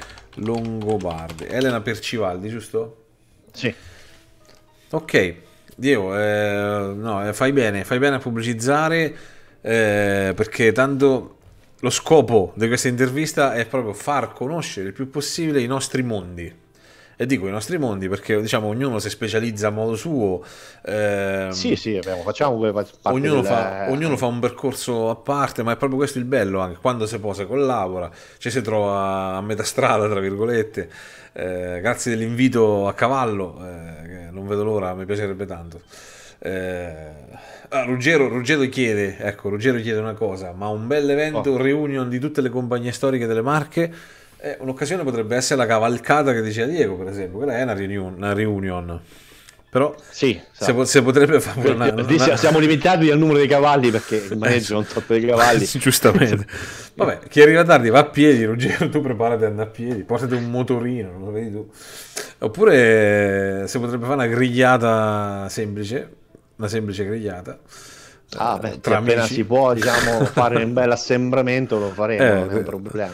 Probabilmente... Abbiamo anche il posto, non c'è problema. Perfetto, Perfetto. Dai, faremo, faremo una cosa così, dai. Vedremo, vedremo di riuscirci. Poi oh. sperando anche in Montelago, anche lì è una riunione verità di vari gruppi, non solo delle Marche, ma eh, beh, lì... ormai da, da tutta Italia. Una bella mucchiata, una bella mucchiata.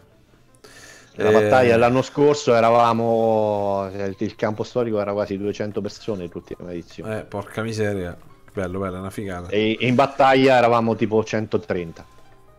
Madonna, tantissimi, per, per, cioè proprio una, una piazza, una piazza piena di gente. Preferisci a piedi che preferisci i piedi al cavallo? Ah, vabbè, eh, vai a piedi allora. Che domanda che... fetish, che cos'è? Infatti, infatti non capisco. Fatta così. Era riferito, penso, al fatto che lui a cavallo non è che ci sale volentieri. Vabbè, eh, tu verrai a piedi allora. Eh, eh, vabbè, cioè, fanteria e cavalleria. La fanteria e la cavalleria, esatto. bentornato, ciao gente, bentornato. Stiamo chiudendo, stiamo chiudendo. Ciao gente, c'è qualche domanda per Diego? Non penso. Dalla faccia. No, non ti vedo sulla faccia, ma me la immagino la faccia. Tu pensa, ciao gente, è un ragazzo che ha 17 anni, io l'ho conosciuto su Twitch per, per caso. E io seguo le live su e lui segue le mie. Che poi se ci pensi non è manco un appassionato di scherma storica, eccetera. Però eh, devo dire che qua su Twitch siamo riusciti un pochettino a...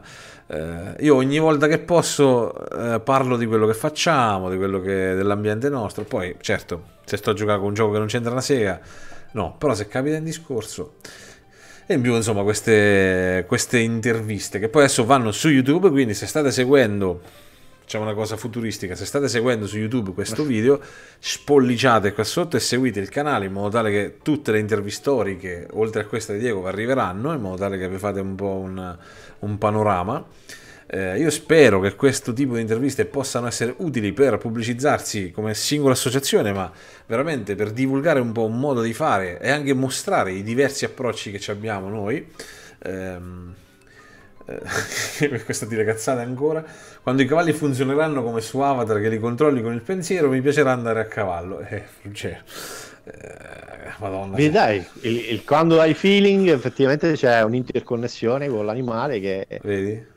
Non, è, non è così fisica, è molto più istintiva e comunicativa con, eh, con i micro diciamo, movimenti del dico corpo. con il pensiero sì, ma proprio anche con le sensazioni che trasmetti all'animale. Questo mm. poi diciamo, fa parte un po' di una scuola, di un pensiero di equitazione che di scuola di equitazione si chiama horsemanship, proprio mm. per un contatto più naturale possibile col cavallo. Bello, bello. Che tu al cavallo, quando parte, non, non, non devi dire vai o gli dai mosse. Anche semplicemente scarichi il fiato, cavallo mm. parte perché sa che tu sei pronto. Lo sente. E Figo. Lo sente, questo poi naturalmente quando uno ha il cavallo suo, se va in maneggio. Eh, beh, certo. Cioè... Infatti sì. Ruggero dice che comunque lui vorrebbe cavalcare un cinghiale, onestamente. Vabbè, Ruggero, ognuno ha i suoi sogni, i sogni proibiti. Lo sento più simile a me, me non ho capito. Vabbè, vabbè, ti vuoi accoppiare con un cinghiale? Vabbè, lasciamo stare questa. Abbiamo un novello Dwayne Piediferro, dai. oh, ragazzi, io penso che ci siamo detti più o meno tutto. Diego, forte braccio sì. per le Grenze di Monte Granaro. Se siete nei paraggi, andatelo a trovare. A parte adesso, mi sa che non so, fai attività tu pure. Come... Stai, stiamo fermi adesso. Facciamo, dei, eh, facciamo degli elementi limitati, nel senso a okay. quasi lezioni personali mm. eh, con dei protocolli molto rigidi.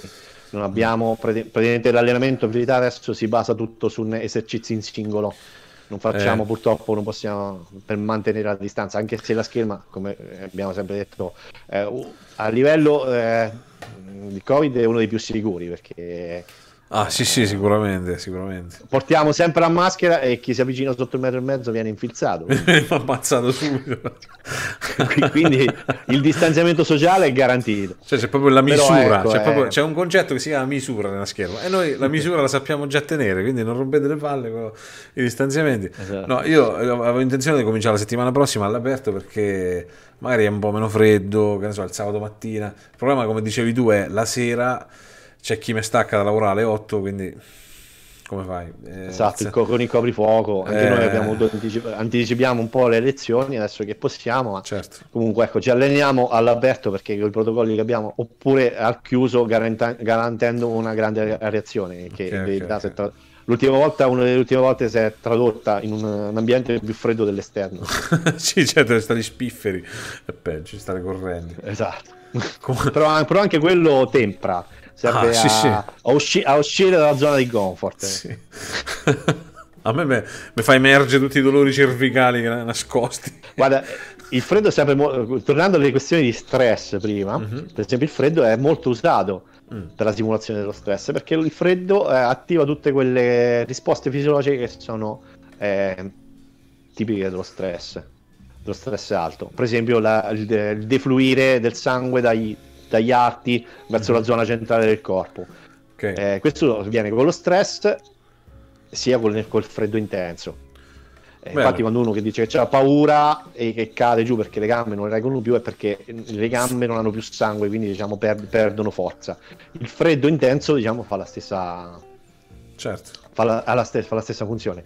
Infatti a me piace molto allenarmi anche in montagna, anche appunto con la neve, in condizioni eh, un po' diverse proprio per questo. Diciamo anche che allenarsi con la neve è proprio una roba poetica, cioè perlomeno a me me... Avecci sì, beh, c'è anche... C'è il lato, anche, diciamo... il lato, dell'anima che ne gode, dai, chiamiamolo così. Beh, quello sempre nell'allenamento in, in natura. Io sì. consiglio a tutti chi può di allenarsi sempre in uno spazio eh, naturale questo è uno, è, uno dei, la... è uno, dei, miei obiettivi. Io purtroppo ho allestito la, tutta la, diciamo, la, parte attrezzata, sportiva, eccetera, con uh, roba moderna in modo tale che fosse al massimo funzionale. Però effettivamente era una cosa che ti volevo dire stasera, mi sono dimenticato fino adesso, vedi, me l'hai ricordato tu. Eh, che ammiro molto il tuo contatto con la natura, cosa che io a volte non riesco spesso a fare perché per vari motivi, insomma. Però è un'ottima cosa, ragazzi. Eh, proprio perché si fa, si fa qualcosa di storico, ritrova anche un po' il contatto con la natura. Non so se tu lo fai per sì, questo. Assolut- assolutamente. Eh beh, lo faccio anche per questo, però ci sono anche diciamo, degli aspetti pratici. C'è un aspetto diciamo eh, spirituale perché comunque noi siamo animali naturali, la gente è naturale, il contatto con la natura è importantissimo, il contatto vero, rispetto con la natura. L'allenamento in natura in più ha anche dei fattori di vantaggio, cioè noi siamo abituati ad allenarci in palestra, la palestra è un ottimo ambiente per studiare e allenarsi, però è anche eh, l'ambiente è ottimale, cioè mm. abbiamo un terreno piano, sicuro, esatto, sì, sì, sì, sicuro. In natura non è che dobbiamo metterci, non è che dobbiamo fare come Free Mylander, metterci su un picco che sbagli e caschi di sotto. Anche se, anche se a me non mi dispiacerebbe. quando, sarò Beh, vecchio, cioè... quando sarò vecchio, io sarò Ramirez, sarò l'allievo, andremo, andremo a morire sui monti probabilmente. No, no, poi, poi diciamo arriva a sensazioni epiche senza neanche rischiare così tanto. Però sì, comunque si allenarsi in un ambiente naturale, per esempio, già semplicemente l'irregolarità del terreno. L'irregolarità del terreno ci dà un modo eh, diverso di muoverci. Vero, Partiamo a muoverci eh, gestendo, dobbiamo gestire di più l'equilibrio, lo sviluppiamo anche di più perché magari il terreno ha delle buche, eh, ha, una, ha, un coefficiente di frizione diverso, può essere più scivoloso. Certo. Eh, è vero, è vero. Può, essere, può, può, avere un dislivello, quindi ambientarsi a combattere che, sia che, siamo un po' in salita o in discesa, perché in verità quando poi stai sul campo, per esempio nelle vocazioni storiche, fai battaglie, il terreno pianeggiante è quasi spesso, un miraggio. sì, spesso le piazze, le cose, sì, sì. oltre ai canali. Per parlare esatto di piazze, tipo a Templaria, che in periodo c'era il, solo il massetto di cemento a 45 gradi e noi dovevamo combattere là sopra. Gli scalini, ogni tanto. È... Gli scalini, le vecchie gente... che ti passa dietro. Malleoli che partono. E... Bestemmie, insieme alle bestemmie, accoppiati con le bestemmie proprio verso l'alto.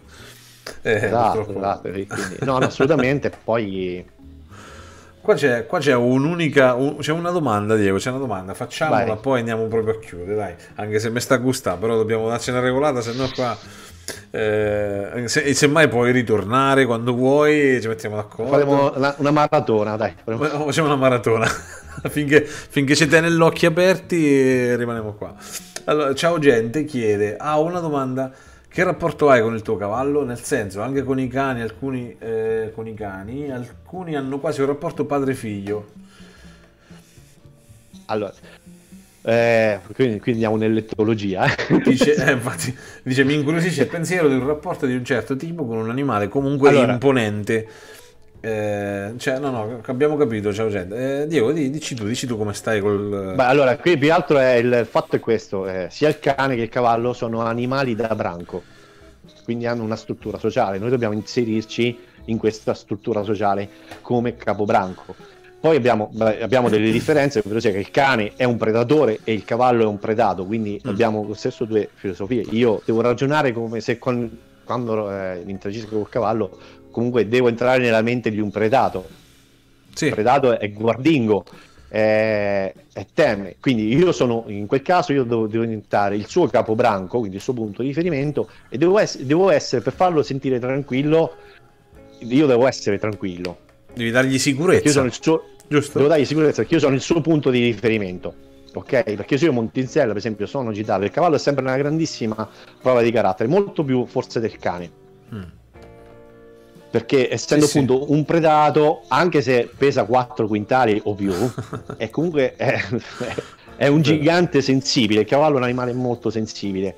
E, e, anche, e tu monti il cavallo anche con un minimo di agitazione, lui lo sente. Quindi è una grande forza di carattere perché uno monta in sella deve autocontrollarsi sempre. E poi ogni animale comunque va rispettato nella sua natura, perché mm. quello che ecco appunto le differenze bisogna capire questo lo stesso il cane è un animale è un animale da branco devi essere il capobranco mm. e non dipende neanche, dalla, neanche lì dalla dimensione perché a volte tu vedi eh, la gente che ha il chihuahua sì, sì, sì e il chihuahua monta sul divano, monta sulla sedia, non ti puoi neanche, il padrone stesso non può neanche accostarsi perché il chihuahua se lo mangia, lo eh, mangia vivo. Quando ero piccolo, ragazzi, quando ero piccolo avevamo un cazzo di chihuahua. Allora, chihuahua sulle cosce di mia mamma a dormire. Io che mi metto, avevo sette anni, mi metto sulle cosce di mia mamma. Praticamente questo chihuahua mi si è rigirato, mi ha morso il naso. Io ho tirato su sto chihuahua, c'ero io con sto chihuahua attaccato i Chihuahua sono bastardi, ragazzi. E poi tu li sottovaluti, sono piccoli, però cazzo devi comunque no, è... sbacchettarli. Come devi... per l'essere umano è una questione di carattere. è vero, è vero. Bisogna imporsi, ragazzi. Eh, cioè, eh. Bisogna rispettare la, la, sua natura, è esatto. quella di una struttura sociale e tu devi essere poi nel, il capo della sua struttura sociale. Comunque, o comunque sia, anche se un cane in una famiglia con più persone, diciamo, dovrebbe essere lui l'ultimo gradino mm. gerarchico. Mm. Sì, se no diventa... Certo. Avevo letto un libro di Sean Ellis, quello che stava con i lupi non so se l'hai letto mai. Sì. Eh, spiegava bene, adesso non so se lui sia proprio stato preciso nel descrivere questa cosa, però mi affascinava il fatto che lui descriveva gli alfa, i beta, gli omega e tutte le varie sì, sì. intermedie, no? Il punto è che se tu sei il capobranco e il tuo cane è il beta, fondamentalmente lui protegge te. Quindi se c'è un bambino sì. che ti viene a toccare troppo veloce, lui può darsi che lo morde.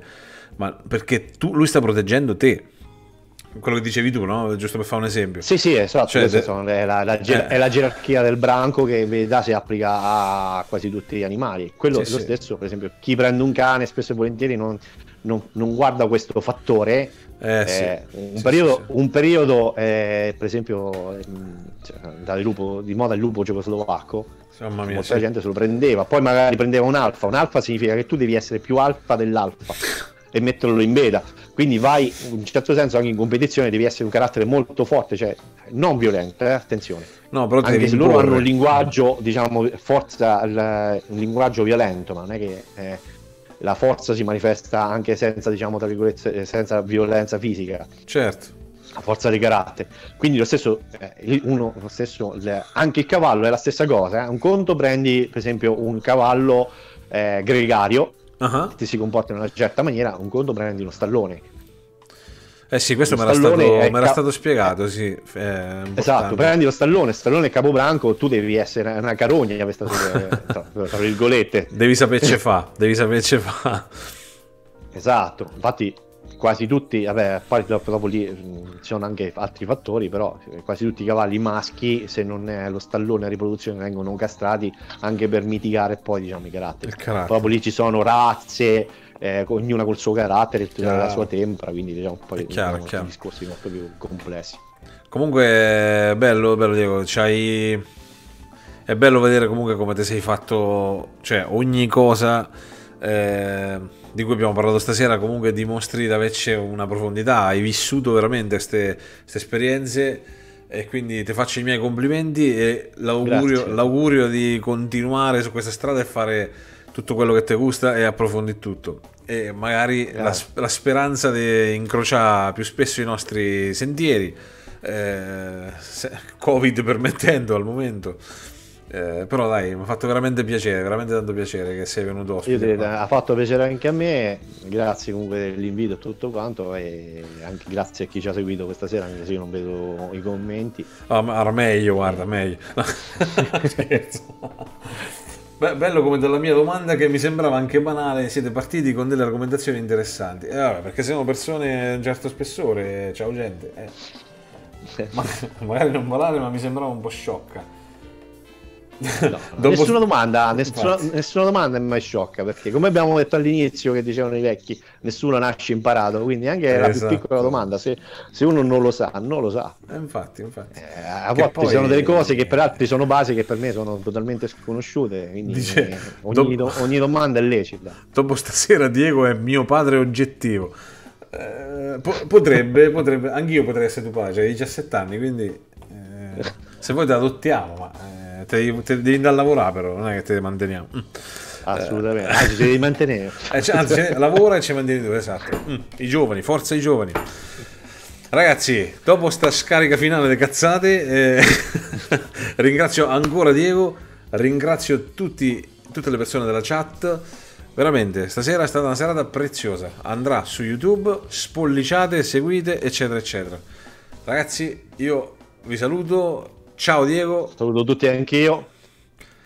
E alla la... prossima. Alla prossima, presto, esatto. Si, si, spera a presto dal vivo poi. Neanche... Presto dal vivo. Se no su Ellis, su Ellis Sport ammazzacce con le spalate. Ah, appena uscirà, appena, perché siamo, come ripetiamo prima, siamo gente del nostro tempo, quindi ci piacciono esatto. i videogiochi, non esatto. c'è niente di male, tra, anzi il gioco c'è sempre una funzione propedeutica e vissuto in una certa maniera e insegna anche. È vero, è vero.